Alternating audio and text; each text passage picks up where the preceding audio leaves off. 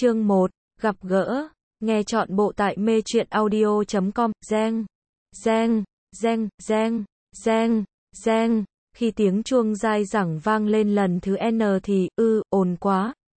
Cô gái nằm trên giường khẽ nhăn mặt lại, hai mắt vẫn nhắm tịt không muốn mở ra. Một bàn tay nhỏ nhắn, xinh xắn từ trong chăn thò ra cố gắng vươn về phía bàn học để chuẩn bị chiến đấu với cái thứ đang phá hoại giấc mộng đẹp đẽ của cô.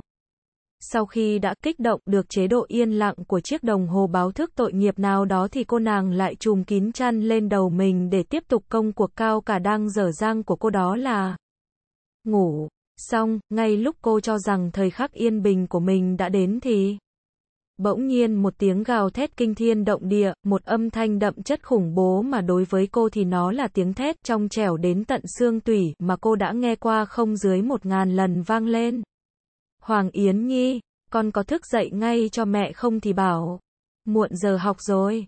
Thanh âm, ma quỷ, đã làm cho màng nhĩ của những hàng xóm gần xa sắp phải, hy sinh, làm cho những con chim đang đậu trên cành cây đứng không vẫn suýt té lộn cổ và làm cho cót, đang leo núi. Phải cúi đầu chào thua đó vẫn đang không ngừng len lỏi qua từng tầng không khí, nó xuyên qua mọi ngõ ngách tường nhà và cửa phòng để truyền đạt đến tai cô một thông tin chính xác nhất. Nhi mở bừng hai mắt khi nghe được chất giọng trong trẻo quen thuộc này. Bật người dậy một cách nhanh chóng nhất như một phản xạ có điều kiện vì được luyện tập rất nhiều lần trong quá khứ vậy. Vẻ mơ màng trên khuôn mặt nhanh chóng được thay bằng những biểu cảm vô cùng phong phú. Trong suy nghĩ của cô bây giờ là, thôi tiêu rồi, đây là giọng thét của mama đại nhân mà thật khủng bố. Nhưng sau đó cô lại nhanh chóng thay hoảng sợ thành khó hiểu. Tại sao đang trong kỳ nghỉ hè mà mama, hiền lành, của cô lại tức giận đánh thức cô dậy với âm lượng hết cỡ như vậy chứ? Và rồi cô chợt bừng tỉnh ra. Oh my god, hôm nay là ngày đầu tiên đi học sau 3 tháng hè mà, sao cô lại có thể quên một chuyện quan trọng như vậy chứ? Cô quay phát qua nhìn chiếc đồng hồ đang nằm lẻ loi trên bàn học của mình. Chỉ thấy kim dài của nó đang nằm ở số 12 kim ngắn nằm ở số 7 và kim dây thì đang lấy một tốc độ mà bình thường cô cho là rùa bò nhưng bây giờ thì cô cảm thấy nó nhanh đến đáng sợ đang chậm rãi nhích dần lên như muốn đứng cùng chỗ với kim. Dài, cô trợn to mắt và hét lên thất thanh, a a a, mama ơi, sao bây giờ mới gọi con dậy? 7 giờ rồi, trễ mất tiêu rồi. Trời ơi! Cô vừa hét vừa bật người dậy lấy một tốc độ xét đánh xông thẳng vào nhà vệ sinh để đánh răng rửa mặt. Mẹ của Nhi nghe thấy tiếng hét của con gái thì nhìn lên lầu với một ánh mắt bất đắc dĩ, thở dài một hơi rồi xoay người vào nhà bếp để chuẩn bị bữa sáng. Ba Nhi ông Hoàng Vũ Chiết đang ngồi trước bàn ăn đọc báo, ông liếc mắt thấy vợ mình đang bước đến với khuôn mặt đen thui thì nhìn bà với ánh mắt đầy dịu dàng rồi cười nói tuổi trẻ mà bà, ăn nhiều ngủ nhiều mới tốt, không sao đâu, tôi biết, nhưng cái tật ngủ nướng không bỏ được của nó làm tôi không biết phải nói gì. Hai, cứ đi học trễ mỗi ngày như nó thì làm sao được hạnh kiểm tốt. Tối nào nó cũng đặt báo thức, kêu ầm cả cái nhà mà có bao giờ dậy được đâu, nó như vậy sau này ai có thể thích nó nổi chứ. Ôi, con gái tôi, bà than thở, đã nhiều lần bà dặn dò nó sửa cái tật ngủ nướng đó để sau này còn có người yêu thích chứ với cái bản tính lười nhác như nó thì con trai nào mà ưa. Nhưng nó cứ đưa cái mặt tỉnh bơ của nó ra ậm ừ với bà cho qua chuyện rồi lại chứng nào tật nấy không đổi được. Bà cũng đã hết cách với cô con gái độc nhất này của mình rồi. Trong phòng, Nhìn đồng phục chỉnh tề, đầu tóc gọn gàng của mình trong gương, Yến Nhi ảo não thở dài một tiếng rồi xách cặp sông như bay ra khỏi phòng. Vừa xuống cầu thang cô chạy ngay vào phòng bếp, thấy khuôn mặt của hai đấng sinh thành đang nhìn mình, cô vội chào, con đi học đây.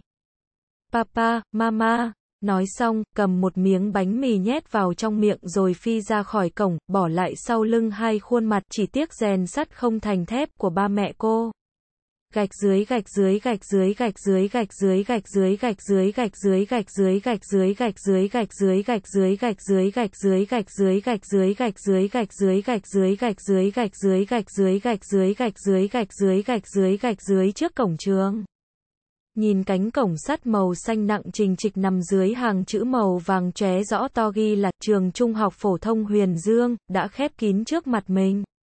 Nhi cảm thấy như tia sáng cuối cùng của cuộc đời cô cũng đã chạy đi chơi luôn rồi.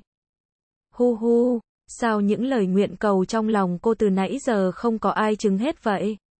Cô tự thấy nhân phẩm của mình cũng không tệ hại đến mức không nhận được một cái liếc mắt của mấy ông thần trên trời như vậy. Hay là hôm qua mấy ổng nhậu say quá rồi cũng ngủ dậy trễ hoặc là họ đang rủ nhau đi đến sòng bạc tiên giới hết rồi. Nghĩ vậy cô mới cảm thấy bất tự ti hơn một chút. Xong, tình huống trước mắt không cho cô có nhiều thời gian suy nghĩ như vậy, cô phải tìm cách để vào trường trước khi thầy cô điểm danh mới được. Cô bắt đầu nhìn ngó xung quanh để xem thử có ai cùng chung số phận với mình không, nếu vậy thì khi xin bác bảo vệ cho vào trường sẽ đỡ bẽ mặt hơn một chút vì người đi trễ không phải chỉ có mình cô. Nhưng đáng tiếc ông trời lại một lần nữa không mỉm cười với cô, xung quanh cô không có một bóng người nào cả. Một làn gió thổi qua người cô, vạt váy tung bay làm chất xúc tác trong hoàn cảnh này khiến cô giống như một người lạc lõng bị cả thế giới bỏ quên vậy, thật là bi đát. Nhi bắt đầu cảm thấy hối hận về việc không chịu sửa đổi cái tật ngủ nướng theo lời mẹ cô. Việc đi học trễ đối với cô đã không còn lạ lẫm nữa nhưng cứ mỗi lần cô nghe tên mình được đọc lên một cách oanh liệt trước toàn trường mỗi khi chào cờ như một tấm gương của một vị anh hùng, hy sinh. Vì nước vì dân khiến mọi ánh mắt, ngưỡng mộ, từ bốn phương tám hướng nhìn chằm chằm vào cô khiến cô rất muốn khóc ròng. Mặc dù thành tích của cô rất tốt nhưng vì cứ đi học trễ mãi như thế này khiến các thầy cô giáo yêu mến cô cũng chỉ có thể thở dài lắc đầu. Vì thế nên thành tích của cô luôn ngang hàng với danh tiếng, mặc dù cô cũng chả muốn như vậy. Cảm thán một tiếng về số phận của mình, rồi đột nhiên một tia sáng chợt lóe qua trong đầu mình. Mắt cô sáng lên, khóe miệng khẽ nhếch lên một đường cong rảo hoạt với ý nghĩ của mình rồi cô nhanh chóng xoay người chạy theo lối đi quen thuộc của cô đến phía sau trường học. Nhìn bức tường cao khoảng 2 mét trước mặt, suy nghĩ một lát rồi cô nhìn sang chiếc thùng gỗ nằm bên cạnh mình, thật là buồn ngủ gặp chiếu manh mà.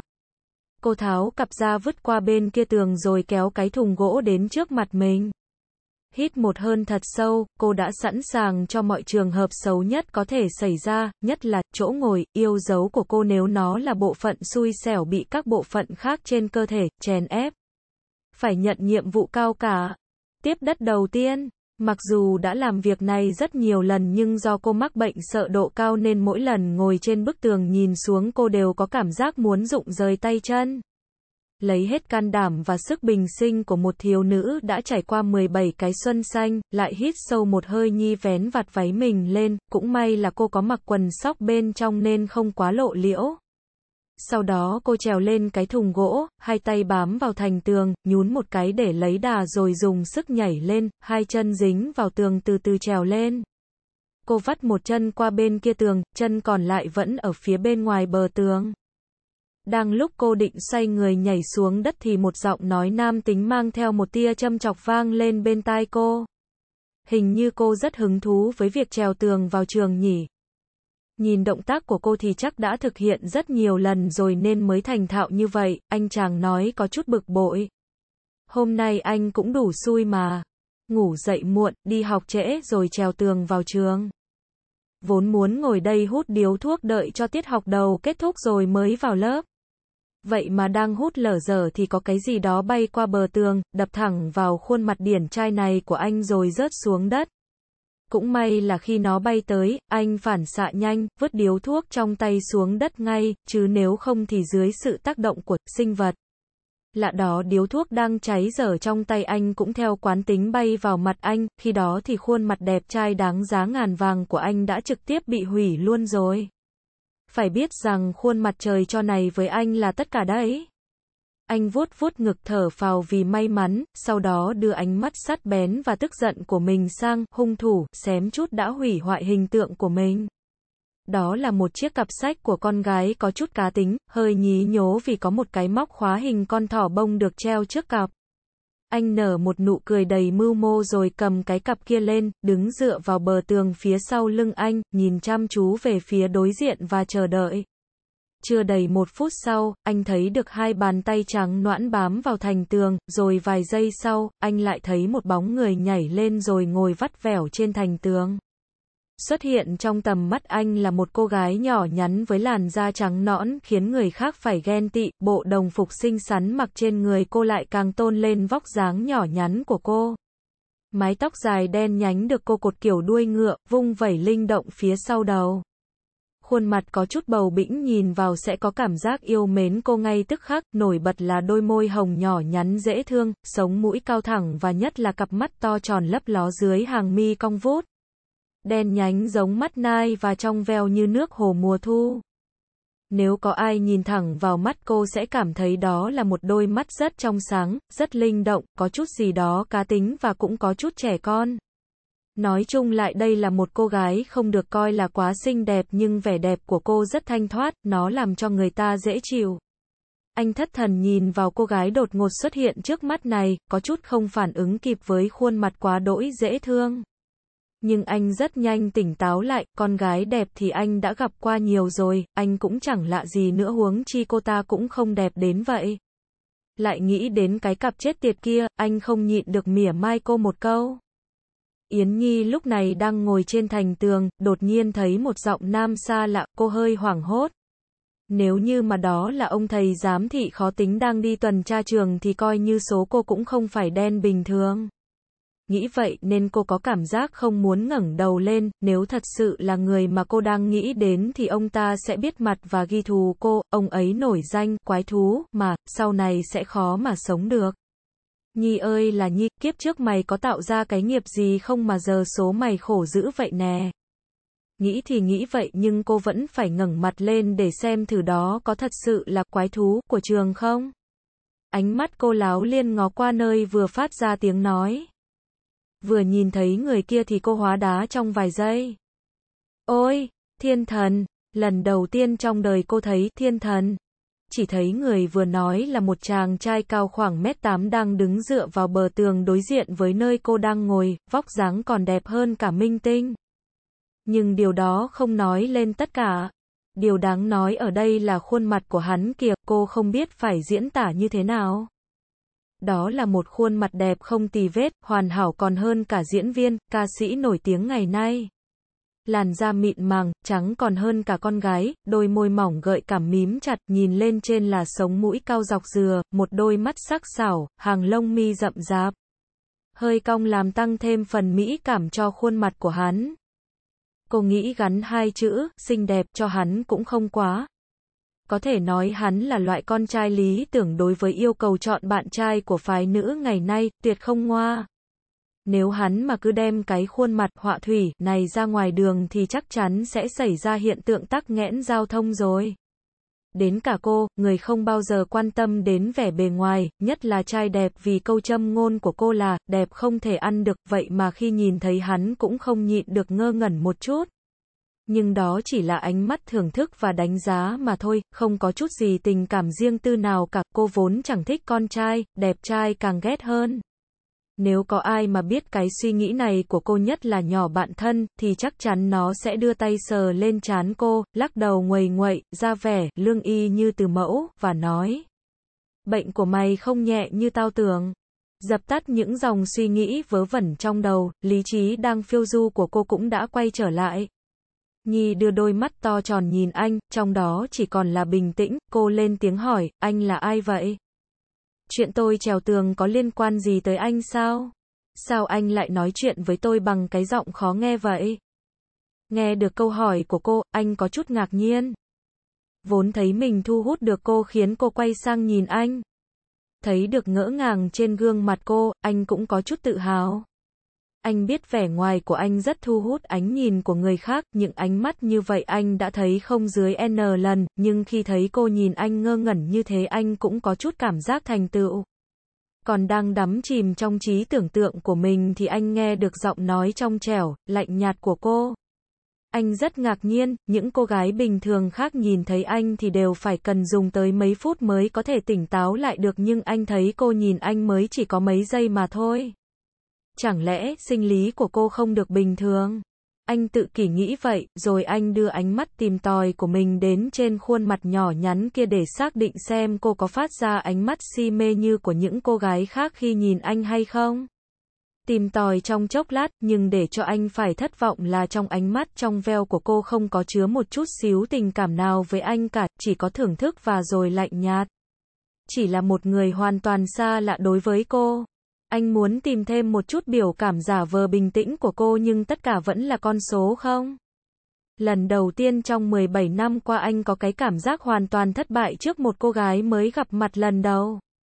Anh đã quen cái cảm giác ái mộ, yêu mến mà các bạn nữ dành cho anh, những ánh mắt ghen tị, hâm mộ của các bạn nam khi nhìn anh. Vậy mà, lần đầu tiên anh phải luống cuống tay chân, không biết phải làm sao. Hai, cái cảm giác này thật không dễ chịu gì. Mặc dù trong lòng có hàng tá điều đang băn khoăn nhưng ngoài mặt anh vẫn không có biểu cảm gì nhiều. Anh nhìn vào khuôn mặt lạnh nhạt của cô, bàn tay đang cầm cặp của cô đưa ra phía trước, đáp trả với giọng điệu mỉa mai. Nếu cô trèo tường vào trường thì chẳng có việc gì tôi phải đôi co với cô cả, nhưng việc cô trèo tường làm ảnh hưởng đến tôi thì tôi phải nói. Nói xong, anh chỉ về phía cái cặp của cô rồi sau đó chỉ về phía khuôn mặt của mình rồi nhìn cô, nhướng mắt lên như muốn hỏi. Đầu cô không bã đậu đến nỗi không hiểu ý tôi đâu nhỉ. Yến Nhi nhìn hành động có phần không thiện cảm của anh rồi bừng tỉnh. Thì ra là trước khi trèo tường, cô, vô tình, ném chiếc cặp sách của mình qua tường, thì nó lại, vô tình, bay một vòng tuyệt đẹp trong không trung như đang ngắm nhìn cảnh đẹp để lựa chọn nơi đáp xuống. Và rồi nó lại, vô tình, nhìn thấy một khuôn mặt vô cùng đẹp trai đứng trước mặt cô đây và cuối cùng vì một lý do rất củ chuối, đó là vì nó là phái nữ, nên không thể chống cự được vẻ đẹp kia thế nên nó cố tình đáp thẳng vào khuôn mặt của hắn, vậy nên hiện giờ hắn ta đang hỏi tội cô, vì cô là chủ nhân của chiếc cặp mê trai, đó. Thói đời thật là bạc bẽo, tôi biết là tôi sai, tôi xin lỗi anh. Nhưng chỉ là một chuyện nhỏ thôi mà, có cần thiết phải gay gắt với tôi như vậy không? Anh có phải là con trai không? Sao nhỏ mọn quá vậy? Trông giống mấy bà bán cá ngoài chợ ấy, cô dầu môi lên đáp. Cô không đúng thì cô nhận lỗi. Nhưng hắn có cần thiết phải nhìn cô với khuôn mặt giống như cô mượn tiền hắn mà không chịu trả như vậy không? Giống hệt một người đàn bà chanh chua. Đúng là có khuôn mặt đẹp trả được gì, cô. Cô, anh nghẹn họng. Lúc anh mới nghe cô nói câu đầu tiên, khuôn mặt anh cũng dần dần dịu lại, nói gì thì nói anh cũng đâu phải người cố chấp vô lý như vậy, đang dự tính bỏ qua cho cô. Nghe đến câu tiếp theo của cô thì sắc mặt của anh cũng không tốt được nữa. Đúng thật là đứa con gái không biết tốt xấu mà. Đang lúc anh định gân cổ lên để nói lý với cô thì anh thấy có một làn gió mát lướt qua người anh. Đến lúc tỉnh táo lại thì bóng dáng nhỏ nhắn ngồi vắt vẻo trên tường đó đã biến mất từ lúc nào cùng với chiếc cặp sách trên tay anh. Thì ra trong lúc anh đang lơ là thì cô ta tận dụng cơ hội ngàn năm có một để nhảy khỏi bờ tường rồi lấy vận tốc khủng là 100 km trên giây để giành lấy cái cặp từ tay anh rồi mất hút ở góc hành lang của trường. Anh nhìn theo bóng cô, lửa giận đang bốc lên tận đỉnh đầu nhưng anh cố gắng nén lại. Dám sỉ nhục anh xong rồi bỏ chạy không nói tiếng nào, cô gan lắm. Khuôn mặt đẹp trai đang suy tư, nghĩ ngợi gì đó rồi cười một cách rất không phúc hậu. Thù này không báo thì anh không phải là Phan Việt Quân. Hừ, cô hãy đợi đó, con nhỏ vô duyên, nhưng mà con nhỏ này kiếp trước là con ngựa hay là con gì vậy trời? Chạy nhanh dễ sợ, chương 2, cùng lớp, nghe chọn bộ tại mê truyện audio.com. Trong khi anh chàng điển trai nào đó đang nghiến răng ghi hận, thì đối tượng của sự ghi hận đó lại hồn nhiên xóa sạch sẽ câu chuyện vừa xảy ra vào mấy phút trước khỏi đầu mình như đó là một đống rác vụn cần phân hủy và hiện tại cô nàng đang tung tăng. Trên đường đến lớp, đứng trước cửa lớp có bảng hiệu đề chữ, lớp 11A2, Yến Nhi thập thò, lấp ló, dòm ngó qua ô cửa sổ để xác định sự hiện hữu của thầy cô giáo trong lớp học và rồi không phụ lòng mong đợi cô nhìn thấy được một thân hình, yểu điệu, đang đứng trên bục giảng lớp học, dùng giọng điệu ồm oàm đặc trưng của mình để giảng bài cho những con dân xinh đẹp của lớp 11A2. Đó là bà cô Hoa dạy môn ngữ văn mà.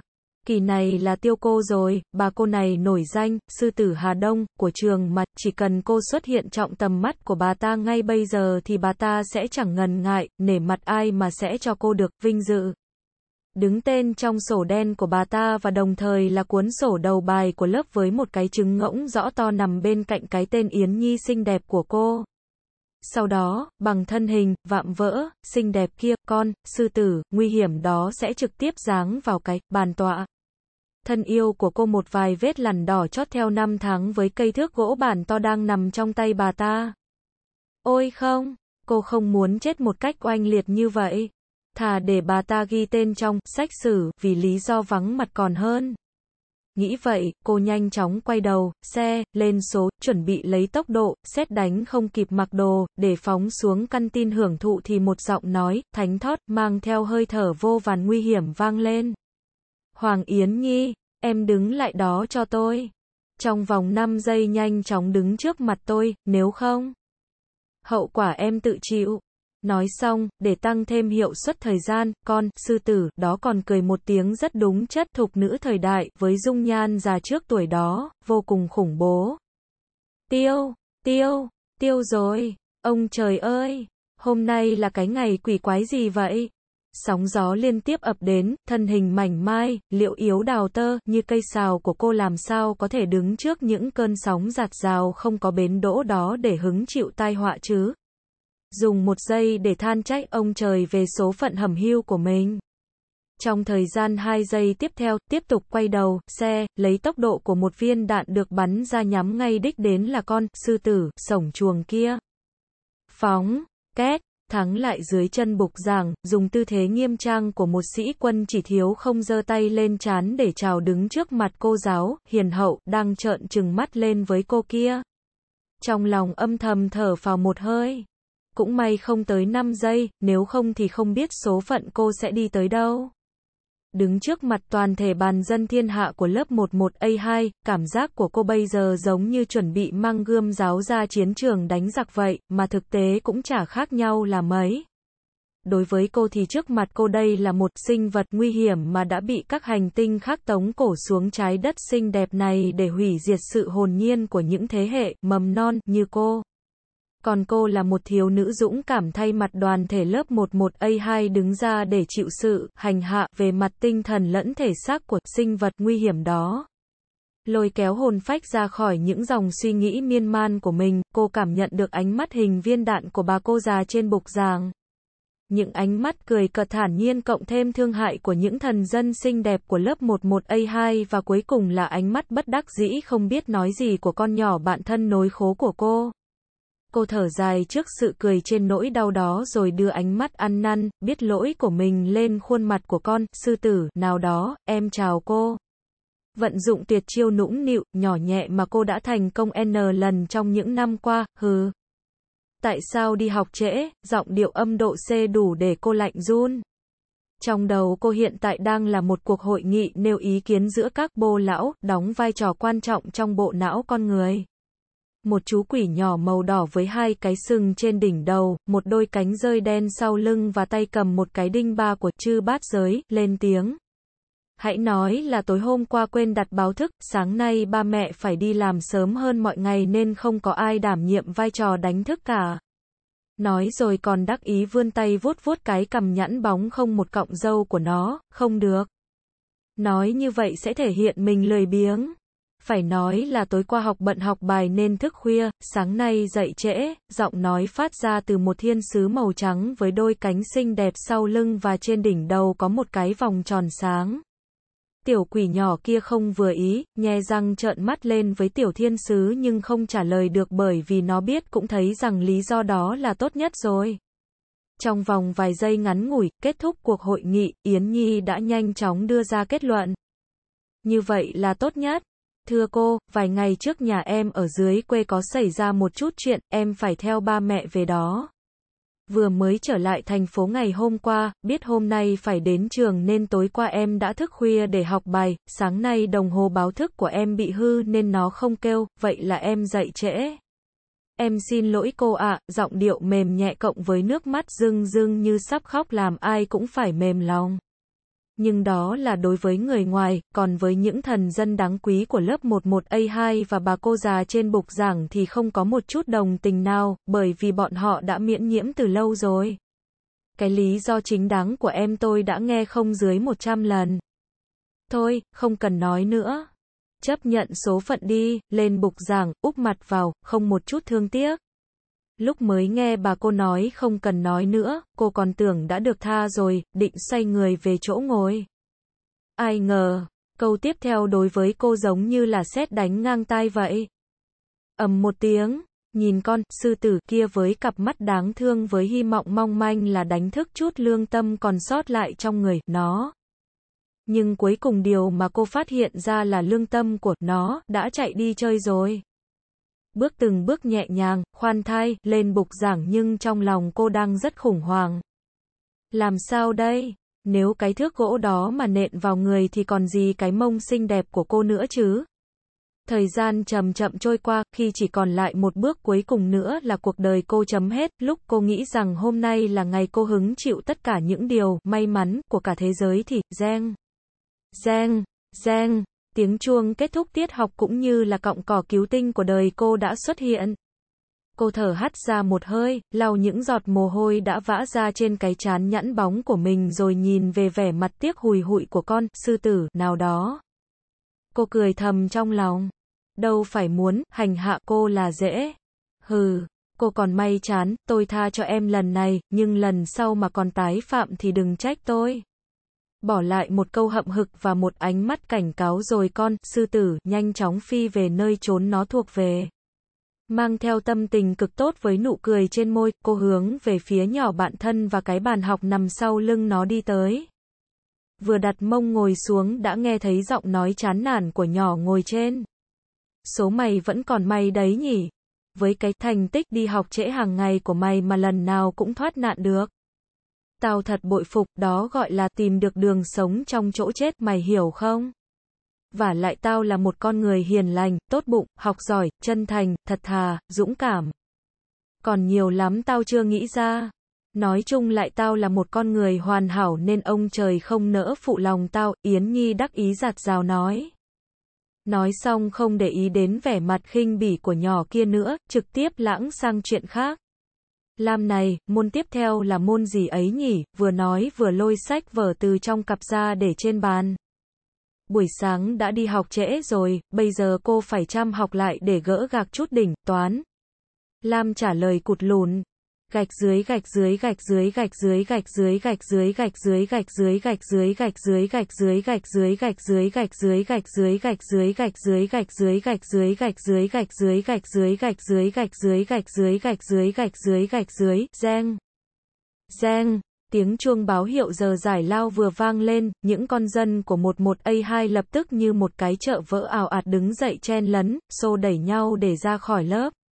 Bỏ mặc ông thầy tội nghiệp nào nó bơ vơ đứng ở trong cái lớp không một bóng người nhìn theo, đàn kiến, thở dài bất lực.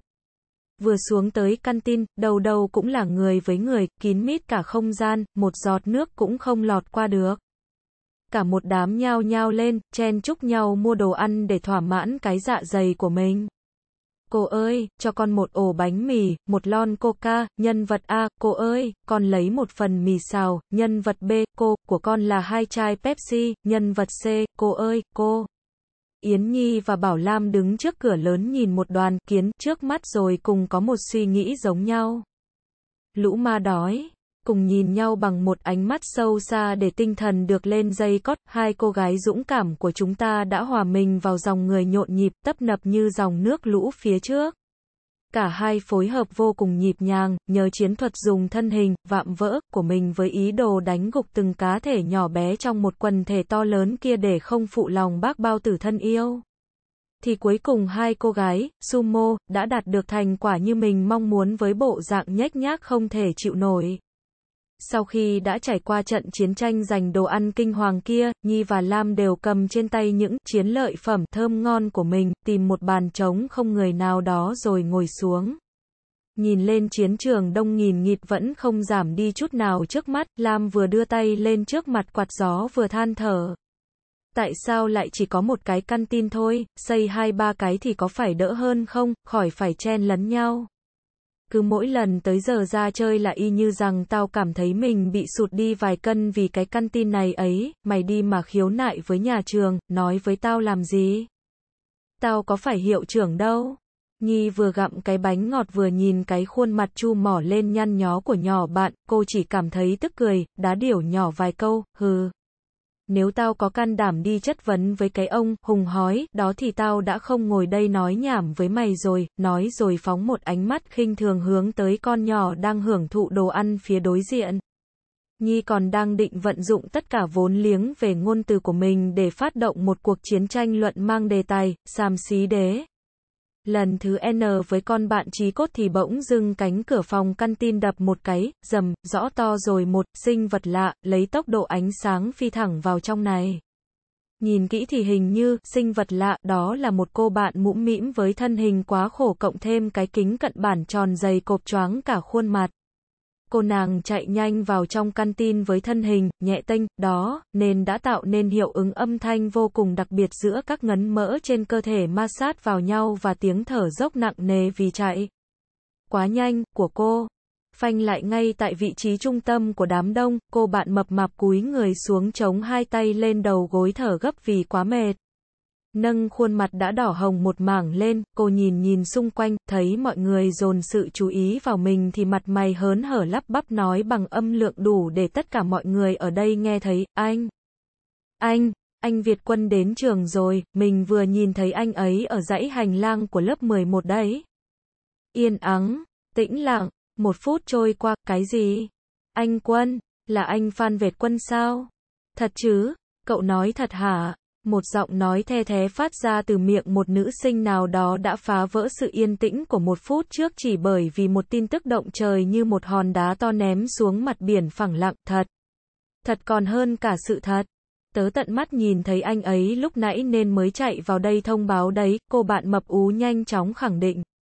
Lúc cô mới nhìn thấy anh ấy cô cũng phải mất mấy phút mới có thể xác định mình không nhìn lầm rồi sau đó tức tốc phi nhanh tới nơi tụ tập của đa số học sinh vào giờ giải lao đó là căn tin này để báo tin.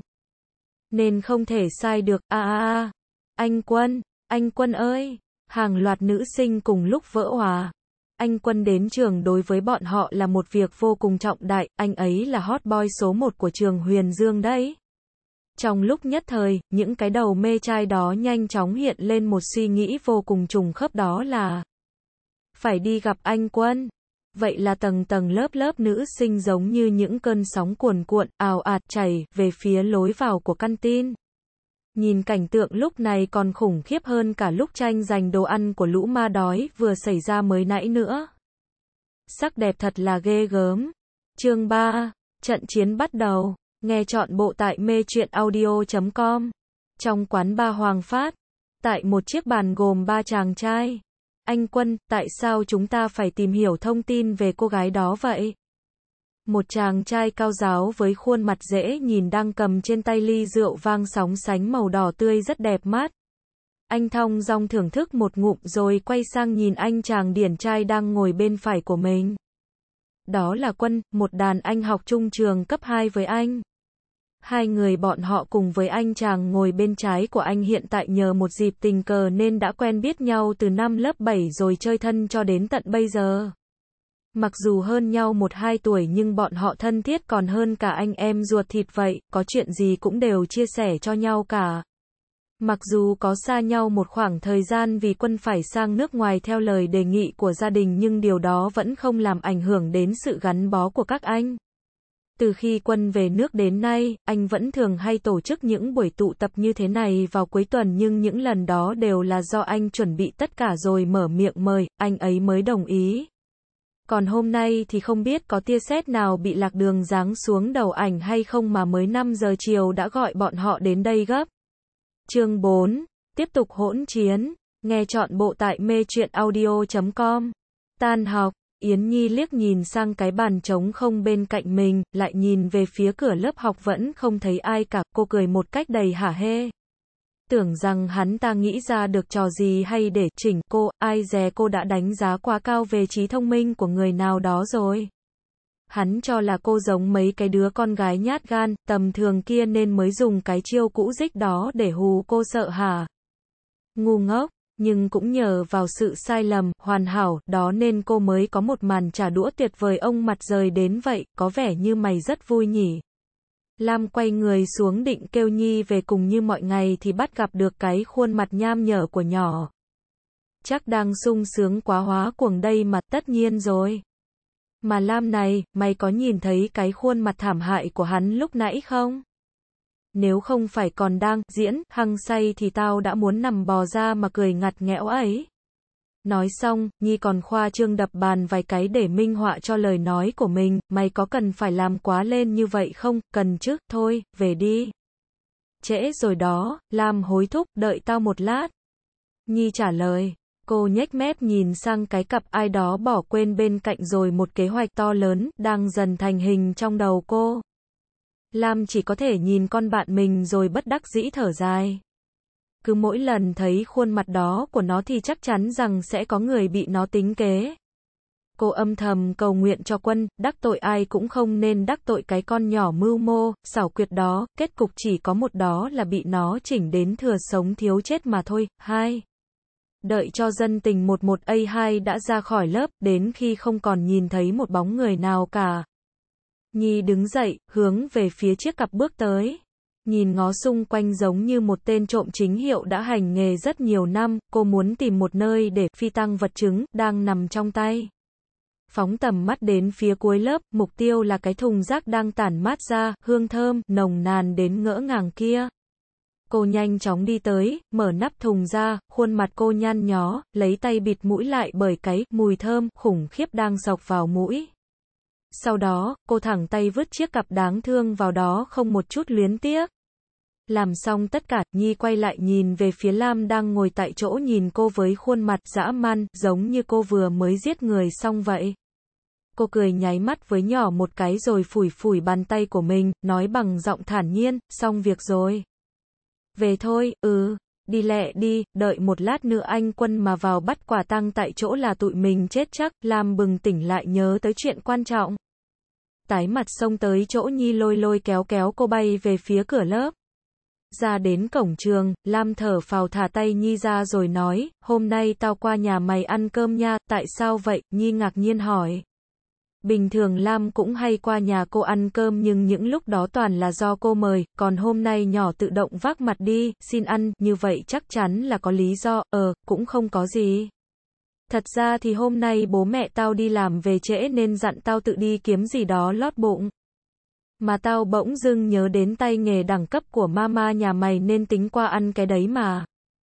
He he, Lam ngượng nghịu thú nhận, gì? Có gì đâu mà mày bày ra cái bộ mặt thiếu nữ, đó vậy. Papa và mama tao xem mày như con ruột mà, có bao giờ cho mày nhịn đói đâu mà lo. Nghe mày nói vậy tao bớt lo rồi.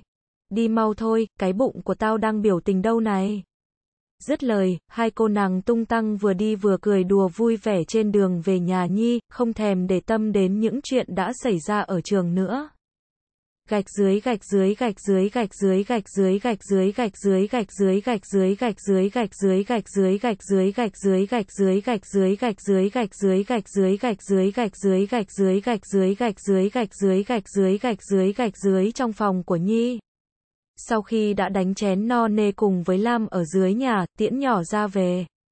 Nhi bay tuột lên phòng ngồi ngay vào bàn học, ai nhìn vào sẽ nghĩ rằng cô rất siêng năng học tập, nhưng đó chỉ là một sự nhầm tưởng đến tai hại.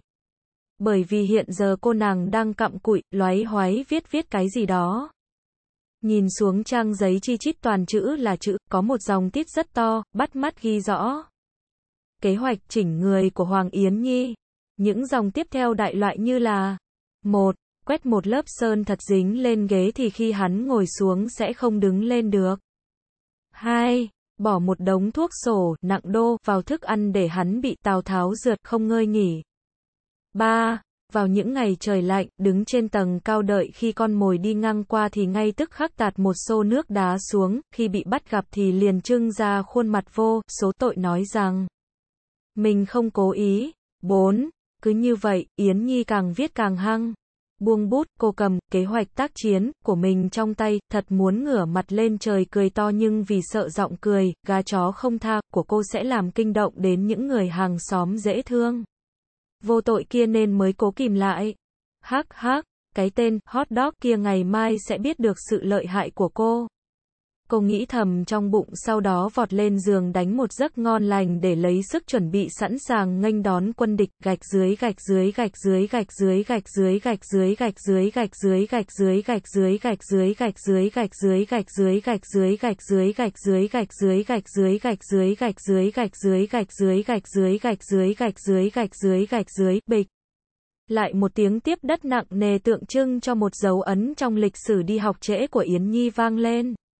cầm lấy cặp, Nhi quay đầu lại nhìn bức tường cao gần 2 mét kia, chật chật lưỡi bởi trình độ leo tường của cô ngày càng điêu luyện thì bỗng nhiên một giọng nói, sặc mùi thuốc súng, vang lên.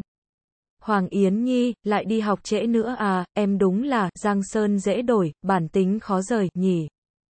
Hơ, hơ, sao cái giọng nói tràn ngập tình yêu thương, dành cho những mầm non của đất nước này lại quen thuộc đến thế nhỉ? Đừng có nói là, là, là quái thú của huyền dương đã ra sân rồi nha. Trời đất thánh thần thiên địa ơi, nếu các ngài có mắt thì xin hãy phù hộ cho sinh linh bé nhỏ, dễ thương, xinh đẹp, đáng yêu nhất quả đất là cô đây một con đường sống đi. Đừng có nhẫn tâm đến nỗi đưa cái con quái thú khủng khiếp này đến đây để giày vò cô mà. Thành tâm, cầu khẩn xong, Nhi lấy một tốc độ rùa bò từ từ xoay cái cần cổ cứng ngắc của mình lại. Đùng, đùng, vừa thấy cái khuôn mặt nhân từ, đến nỗi không thể, nhân từ, hơn được nữa kia, những luồng xét rất không, hảo tâm, vang lên liên tiếp trong đầu cô như một hồi chuông báo hiệu nguy hiểm đang rình rập. Tại sao vậy? Tại sao hết lần này đến lần khác mấy cái ông thần, trời đánh thánh đâm, kia đều rủ dê nhau bỏ rơi một thiếu nữ mỏng manh với 17 cái xuân xanh chuẩn bị đi đến bước đường, tàn hoa bại liễu. Như cô thế này, thật là quá nhẫn tâm mà cho là tình cảnh hiện tại còn chưa đủ, nát bét, ông trời còn cố ý phái thêm thằng cha mắc dịch nào đó xuống đây để thêm dầu vào lửa nữa. Bằng chứng là từ sau lưng của con quái thú kia bỗng nhiên ló ra một khuôn mặt có thể khiến tất cả con gái thét chói tai nhưng trong đó không bao gồm Hoàng Yến Nhi cô. Hắn ta không phải ai khác chính là cái tên động vật giống đực, tác giả của mấy con rán đã đến thời kỳ thối giữa nằm trong học bàn của cô ngày hôm qua Phan Việt Quân. Chỉ cần nhìn vào nụ cười nửa miệng trên khuôn mặt hắn ta thì cô đã biết quái thú này là do anh ta thỉnh tới để trả thù cô rồi. Trong lúc cô đang lôi cả 18 đời tổ tông nhà hắn ta ra để mà chửi rùa thì cái con quái thú bị cô bỏ quên từ nãy tới giờ đó, gầm gừ, đi đến trước mặt cô. Nhìn con thỏ nhỏ trước mặt là cô đây với một ánh mắt, con sói chuẩn bị ăn thịt bà ngoại của cô bé quàng khăn đỏ, ông ta đưa tay đẩy đẩy cái gọng kính trên khuôn mặt phì nhiêu của mình, sau đó cất giọng. Em đã chuẩn bị tinh thần chưa vậy? Lên phòng giám thị với tôi gấp, tôi có rất nhiều chuyện muốn nói với em đó, sự dịu dàng, đến chết ruồi, trong lời nói kia làm tay chân cô bùn rùn cả ra. Thầy quái, À không, thầy Dĩnh đẹp trai, tuấn tú, phong độ người người đây có thể nào bỏ qua cho một mầm non tươi đẹp, dạng dỡ nước nhà như em một lỗi lầm nho nhỏ được không ạ, em? Nhiều lần lỡ dại, cô nhanh chóng chuyển sang giọng điệu nịnh hót thường ngày để đối phó với nhân vật khó chơi trước mắt. Cả cái trường huyền dương to lớn này không có ai là không biết đến danh tiếng lẫy lừng của con quái thú, đang đứng trước mặt cô đây. Ông ta là thầy giám thị quyền lực lâu năm nhất của trường, tên thật của ông là Nguyễn Trọng Dĩnh, còn được mệnh danh vua quái thú. Sở dĩ ông có được một biệt danh, sang chảnh, như vậy là vì ông ta là cơn ác mộng chung của tất cả những học sinh cá biệt trong ngôi trường này. Những hành vi vi phạm nội quy nhà trường mà bị ông ta bắt gặp được thì coi như cuộc đời tuổi trẻ của bạn sẽ có một dấu ấn lịch sử rất huy hoàng cái nhân vật may mắn, phạm lỗi đó sẽ vô cùng vinh dự, được ông ta mời lên phòng giám thị và sau đó là một màn giáo huấn, cảm động đến tận tâm can, tiếp theo sẽ nhận được những hình phạt kinh khủng mà không ai muốn nó tái diễn một lần nữa. Vậy mà hôm nay, cô lại được diện kiến quái thú, lừng danh đó lần thứ N trong cuộc đời. Ôi, cái vận phân, chó gì thế này? Không cần phải nịnh tôi, em đã vi phạm không biết bao nhiêu lần, nhưng vì thành tích học tập của em rất tốt nên tôi đã bỏ qua nhiều rồi. Hôm nay, vì có người, mật báo, nên tôi không thể, mắt điếc tai ngơ, thêm được nữa. Em nhận mệnh đi. Con, quái thú kia trực tiếp ngó lơ lời cầu xin của cô, cũng vì cái tên chết bầm nào đó. Cô đưa ánh mắt giết người qua cái nhân vật vẫn im lặng từ nãy đến giờ nhưng đóng vai trò chủ chốt sau lưng ông ta rồi nguyền rủa. Nhà ngươi hãy đợi đấy, cứ nằm sẵn lên bàn mổ mà đợi chị đây tới tùng xẻo, đi. Hừ, quân tiếp thu ánh mắt của Nhi xong còn cố ý nhướng mày lên tỏ ý, cứ tự nhiên.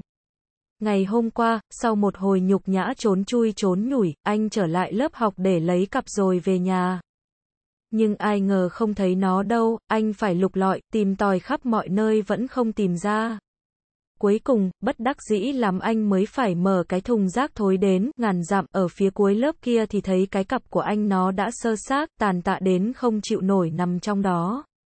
Quân tức đến nổ đom đóm mắt, không nghi ngờ gì thủ phạm chính là cái con nhỏ sao trồi chết tiệt đó. Hồi sáng đã phản pháo anh một vố vẫn chưa đủ hay sao mà giờ còn bồi thêm một đòn nữa. Thấy vậy, anh không thương tiếc đóng luôn cái nắp thùng lại rồi quay đầu bỏ về. Sáng nay, anh tới phòng thầy giám thị, thông tin cho ông ấy rằng chỗ bức tường phía sau trường là địa bàn của cái đứa chuyên đi học trễ nào đó. Ông ta không hề nghi ngờ gì mà chạy ngay ra đây để bắt quả tang tại trận. Không phải vì tin lời anh nên ông ấy mới như vậy, mà vì khi anh nói tên của cô ta ra thì ông thầy ngay tức tốc tin đến sái cổ. Vì thế nên hiện giờ anh mới có thể hả hê như vậy. Ha ha, đáng đời cô. Cuối cùng anh cũng trả thù được vụ hôm qua rồi, thầy Dĩnh, yêu dấu ơi, cát. Cát, đừng có mè nheo nữa, bây giờ em muốn tự nguyện đi hay là tôi phải nhờ tới ba mẹ em lên áp giải em đi. Ông thầy, yêu dấu, nào đó rất không, thương hoa tiếc ngọc mà cắt đứt màn trình diễn, miệng lưỡi của Yến Nhi rồi sau đó còn tung ra một quả bom, rất nặng ký đối với cô nữa. Lần này chết thiệt rồi. Đi không được mà ở cũng không xong. Nếu đi thì sẽ chết một cách oanh liệt dưới, ma chảo, của quái thú, còn không đi thì sẽ chết một cách nhục nhã dưới màn, tra tấn, bằng giọng ca thánh thót của cái loa, nhà cô. Đằng nào cũng chết thôi thì lựa chọn được ghi tên vào sách sử vì chết một cách oanh liệt vậy. Nhanh chóng phân tích xong, Nhi ngước mắt lên nhìn khuôn mặt phì nhiêu kia, nói rành mạch. Em tự nguyện đi ạ, à. sau đó, cô thẳng lưng, ưỡn ngực rồi bước đi với một tư thế cây ngây không sợ chết đứng. Xong việc rồi, em lên lớp trước đây à, chào thầy. Quân thấy nhiệm vụ của mình đã xong, quay qua nói với ông thầy rồi cất bước đi về phía lớp học. Khi đi ngang qua người Nhi còn không quên gửi tặng một ánh mắt tự bảo trọng cho cô nàng và đi thẳng không thèm ngoảnh đầu lại. Nhi hậm hực nhìn theo cái bóng lưng gai mắt kia. Cô nghiến răng kèn kẹt âm thầm tiên thệ. Cô mà không chỉnh được hắn thì cô không phải là con người. Ý nhầm, nếu không phải con người thì cô là con gì? Sửa lại, nếu không chỉnh được hắn cô không mang họ hoàng nữa. Đúng, phải là như vậy, không đi nhanh đi, còn ở đó nhìn cái gì, một tiếng nói vang lên đột ngột làm cô suýt bật ngửa. Có cần phải giống quỷ như vậy không chứ?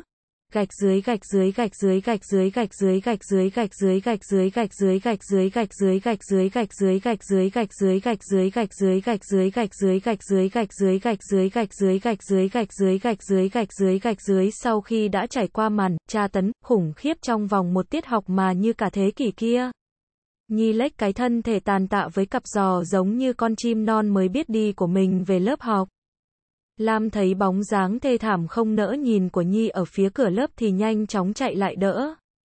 Đưa nó về tận bàn rồi nhỏ giọng trách móc, sao mày không cố gắng bỏ cái tật ngủ giật trễ đó đi cho khỏi phải bị phạt.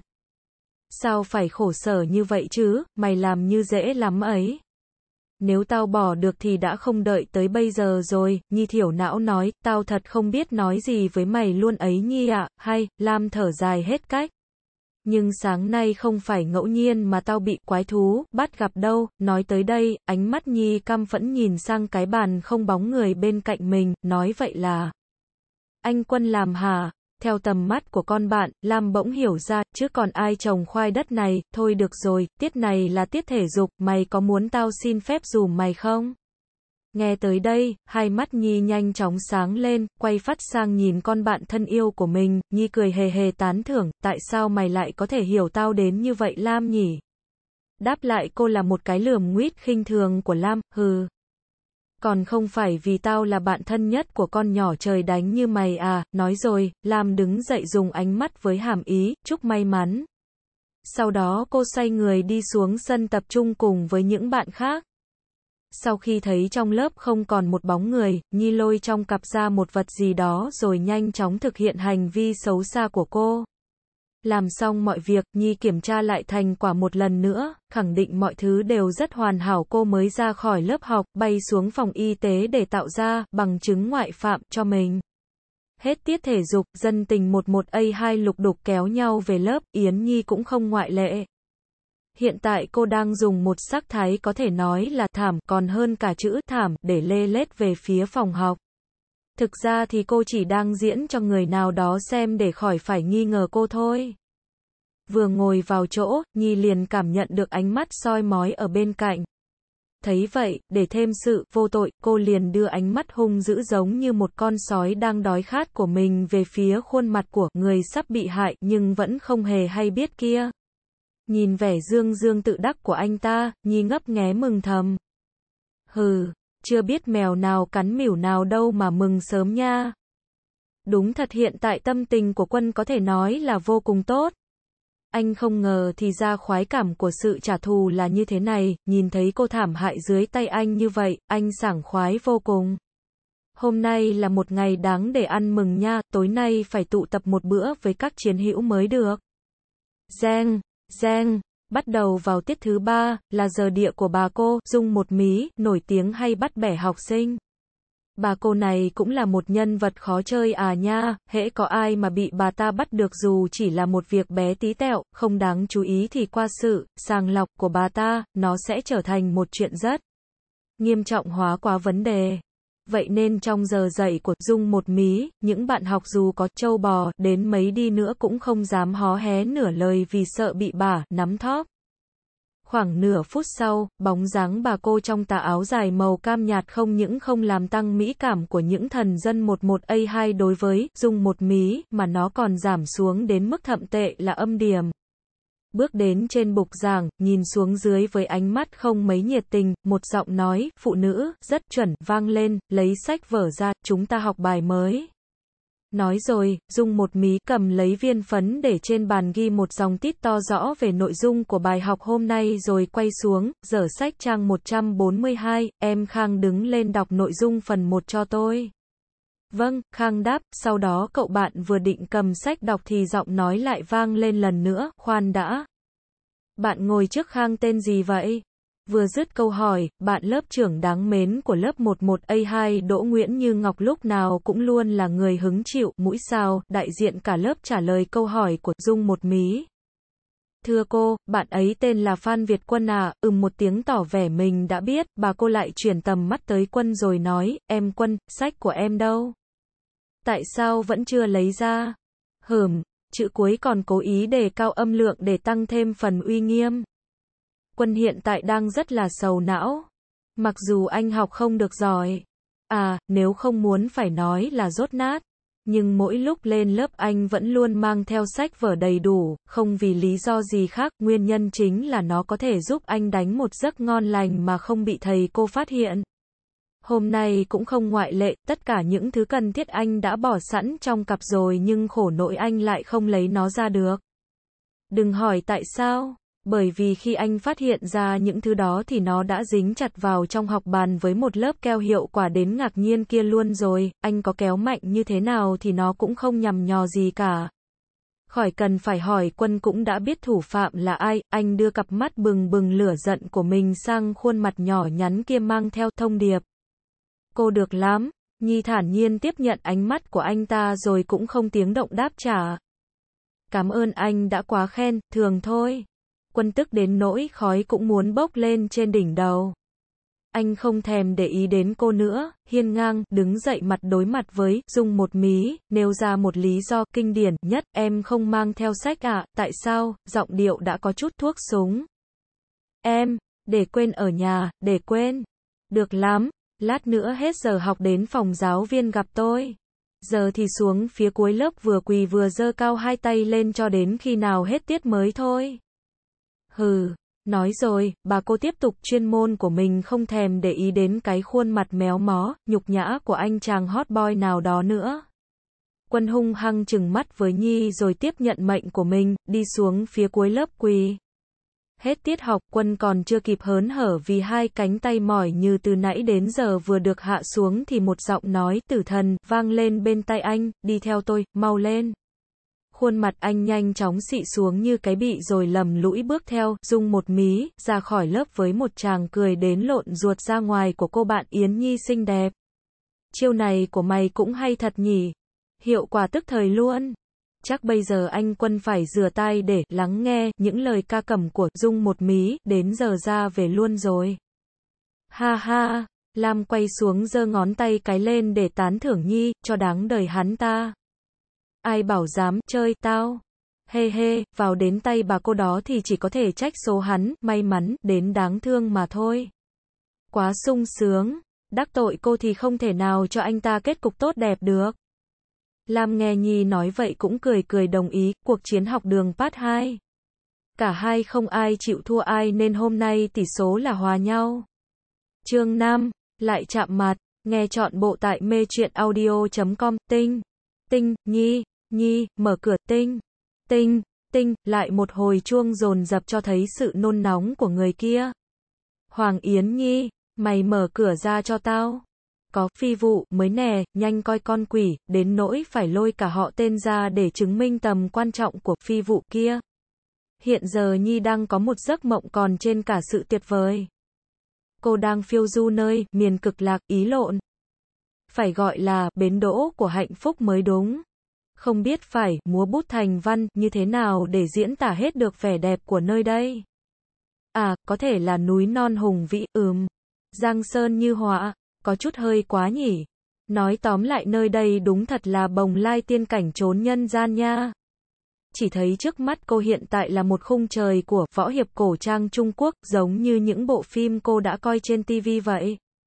Cảnh sắc tuyệt đẹp với không khí thoáng đãng, núi non trùng điệp trước mắt, một thác nước trong veo chảy rất xiết về phía đầu nguồn cây cối tươi mát, từng đàn chim tự do bay lượn trên bầu trời trong xanh, cộng thêm những làn sương mù mịt làm Yến Nhi cảm thấy mình như lọt thỏm vào tiên cảnh, chân thật vậy. Mặc dù không gian tuyệt đẹp, những thứ khác cũng rất tuyệt vời, nhưng hấp dẫn ánh mắt cô vẫn là Chiếc bàn ăn dài khoảng 100 mét với hàng trăm món ngon vật lạ trước mắt như bàn tiệc cung đình thời xa xưa vậy. Nào là tổ yến, nhân sâm, bào ngư vi cá, vân vân và mây mây. Nhi đánh ực một cái nhìn cao lương mỹ vị trước mắt, đang định nhào vô làm thịt, con mồi, thì đột nhiên một thanh âm rất quen tai luồn lách vào màng nhĩ của cô với âm lượng, nhỏ, đến không thể, nhỏ. Hơn được nữa. Nhi mở bừng hai mắt, bật người dậy như một con robot đang trong thời kỳ tiền mãn tin, ngoáy ngoáy hai cái lỗ tai nhỏ bé, đáng thương của mình. Cô bực bội, đang dằn vặt tâm lý xem thử có nên cho con nhỏ kia một trận để nó biết điều lần sau đừng làm phiền, bữa ăn của cô nữa hay không thì tiếng chuông cửa cộng với cái tiếng đinh tai nhức óc kia lại một lần nữa vang lên. Phiền toái thật, ngày nghỉ mà cũng không tha nữa, ra liền. Đợi tao chút, cô gắt gỏng lên tiếng. Mày làm gì mà mới sáng sớm đã đến la hét ẩm ý nhà người ta thế hả? Có bị động kinh không vậy?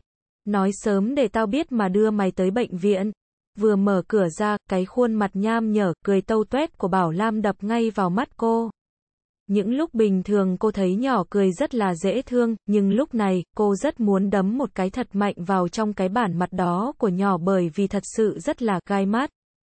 Nhịn, nhịn, Hoàng Bảo Nhi, nên nhớ mày là một cô gái tốt bụng, thiện lương nhất trần đời không nên vì một chuyện nhỏ nhặt mà ngày mai sẽ được lên báo với một dòng tít vô cùng hoành tráng.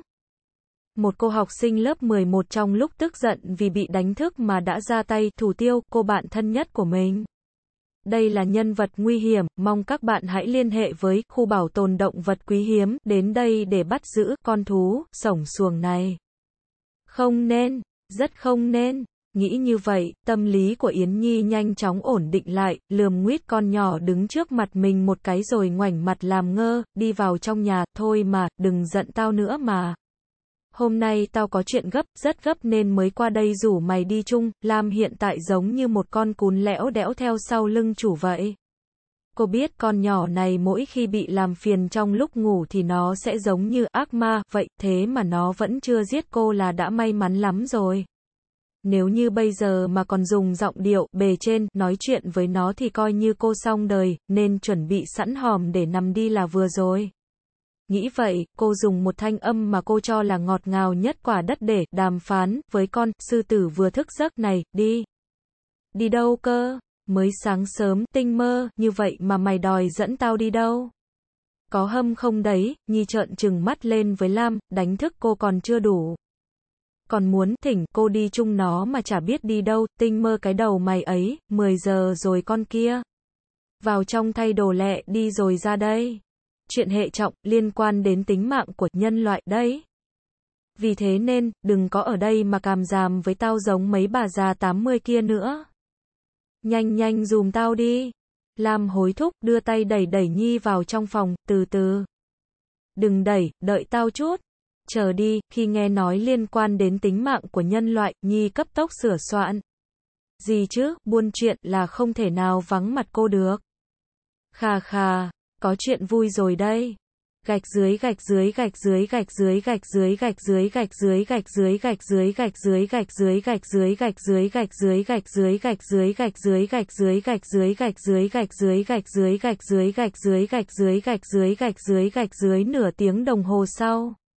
Nụ cười thường trực trên môi Yến Nhi từ nãy giờ đã mất tích không còn một chút dấu vết nào và thay vào đó là vẻ tức giận ngút trời. Bởi vì, Hiện tại cô và Bảo Lam đang đứng trước trung tâm mua sắm lớn nhất cái thành phố Hà Nội này, cái bảng hiệu to đùng nhấp nháy nhiều màu trước cửa lớn kia ghi rõ là Trung tâm mua sắm thịnh thế. Nhi quay cái gương mặt đen kịt của mình qua nhìn cái con nhỏ đang hớn hở cười bên cạnh, gần giọng qua kẽ răng rít lên, cái này gọi là liên quan đến tính mạng của nhân loại mà mày nói đấy hả? Tốt nhất là mày nên cho tao một câu giải thích rõ ràng, nếu không thì chuẩn bị tinh thần đợi tao tới làm thịt đi nhá. Bảo Lam đang tần ngần đứng ngắm nhìn thịnh thế với một mơ ước nhỏ nhoi, đó là vơ vét hết tất cả hàng hiệu trong đó. Đang định sách dép vào để chiến đấu, thì nghe được giọng nói sắp sửa bùng phát của Yến Nhi làm cô giật bắn. Xém chút quên mất nó, hai. Giải thích sao đây? Thôi, liều đi. Nếu nó giết cô thì cô sẽ dùng chiêu cũ vậy, còn nếu nó cấu xé cô để chút cơn giận thì đành phải chịu trận thôi, ai biểu người sai là cô chứ, ấy. Bình tĩnh đi mà, để tao giải thích đã rồi mày muốn làm gì thì làm ha. Nhưng đừng giết tao trong khi tao còn đang trong giai đoạn phơi phới thế này là được rồi, Lam nài nỉ.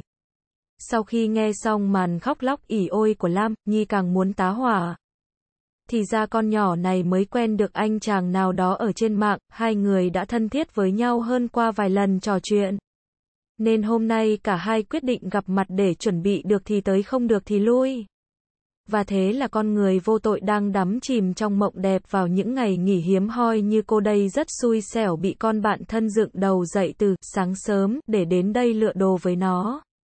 Còn chuyện liên quan đến mạng sống nhân loại, đó thì Lam có một câu giải thích rất tuyệt vời là nếu cô không đi theo thì Lam sẽ hồi hộp đến mức không thể chọn đồ được. Như vậy thì cô nàng sẽ mất điểm trong mắt người ấy, nó sẽ buồn tình dẫn đến việc mất hy vọng vào tình yêu, nếu thế thì nó sẽ nghĩ quẩn mà quyết định ở giá, mà ở giá thì không thể có con. Và cuối cùng kết luận một câu. Việc cô không nghe lời nó đến đây sẽ là nguyên nhân gián tiếp ngăn cản sự ra đời của một đứa bé vô tội chưa thành hình mà cũng không hẳn là nó sẽ có con nữa. Oan uổng,